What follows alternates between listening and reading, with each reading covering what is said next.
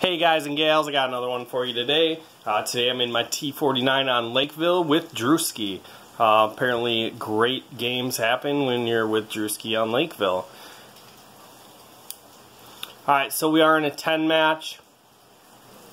And you know my theory on this map is the 2 line. However, we're in encounter and I'm in a scout.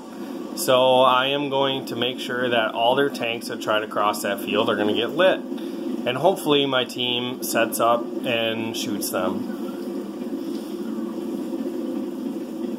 So here we go. Let the fun begin. Spot a 1390. I'm aiming. And my level 9 crew that I had in this tank, I put back in my Patton. So I no longer have it in here. I missed my shot. He actually shot and then moved right when I pulled my trigger. That stubby sets up to get shots in me, so I gotta make sure I move. Spot an E5, two E75s, and a 105. Racking up the spotted target hits.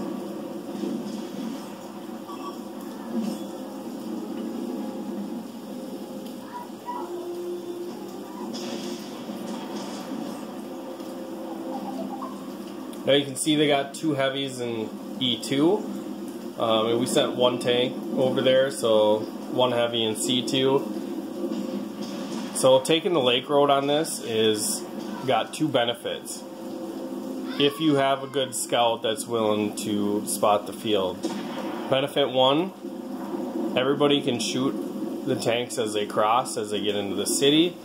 Benefit two is once their two line finally just uh, figures out that you don't have anyone there, uh, you can just set up a defense in B3 and make it difficult for them to come over.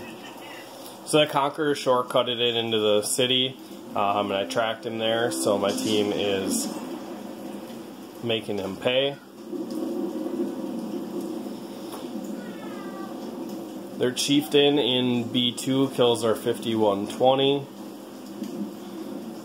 And Drewski's up in B2. Um, he's letting me know that they're coming. And we do have two guys going back. I just wanted to make sure I got a shot into this 1390. Um, and for some god awful reason, there's a motion on the lake road. Please don't ever take your heavy tank on the lake road.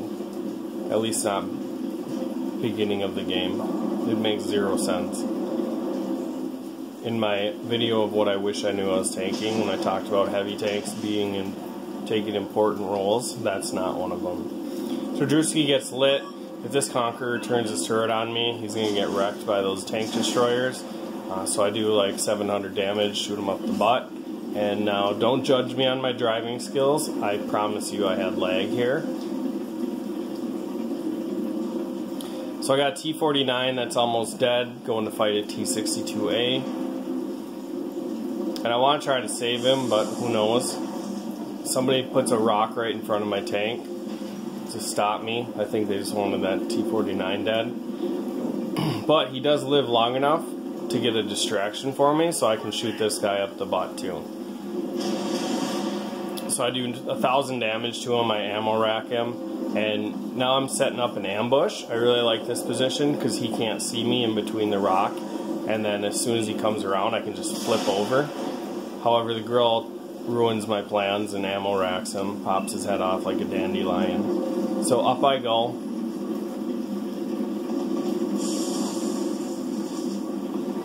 Eight to five, really at this point, I'm just in go mode. Uh, I want to crush everything. And unfortunately there's a T-49. But then I realized this guy doesn't know how to play the T-49. Um, it has a little pencil gun, so I smash his face and make him wish that he had the big gun. And then here comes the bat chat. he shoots one shell at me, and you'll notice if you watch his gun, he just drives by us. So you're telling me that there's a bat chat sitting waiting for us to come around the corner, and all he has is one shell. Drew lays the wood on him. He rams Drew and he's got 592 hit points. He's a squishy target for my Derp gun, and Drew's not happy about it.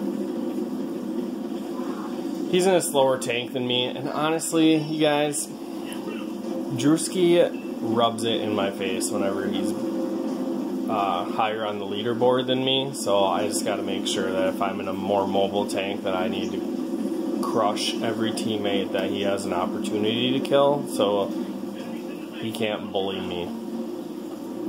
Alright, so they had two Death Stars on the Lake Road, and this was one of them. I have to make a high jump over top, and unfortunately I don't get a shot into this guy's butt. Um,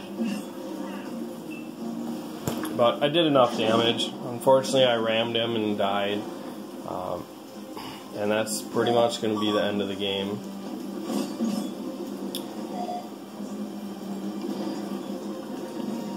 Our Grille takes down the 183, and then our 183 is fighting a M103 that has like little to no health. And what does he try to do? he tries to side scrape him out, or uh, a 183 in the city, and our 183 just smashes him in the head. So that is the end of the game. I got five kills. No, I'm sorry. I think he got five kills. I don't know. We'll see it at the end game.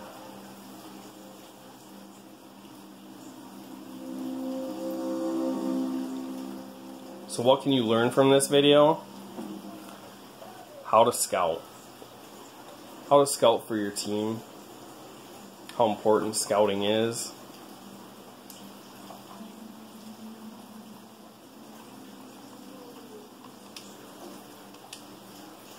Alright, so I throw down an ace tanker, I get 41, almost 4200 damage and 41 assisted. Yeah, my 183 had 5 kills, I had 3 kills. And you can see on their team, their batch chat did 4,000 and the rest of their team really didn't do anything. Okay, their Death Star almost had 4,000 too. But besides those two, their team really didn't do anything, and to me, these guys really just played passive sniper the whole time, so bless their heart, they sat and camped and sniped, probably trying to get their three marks. Alright, that's all I got for you guys. Make sure you like, share, subscribe, and I will see you in the next video.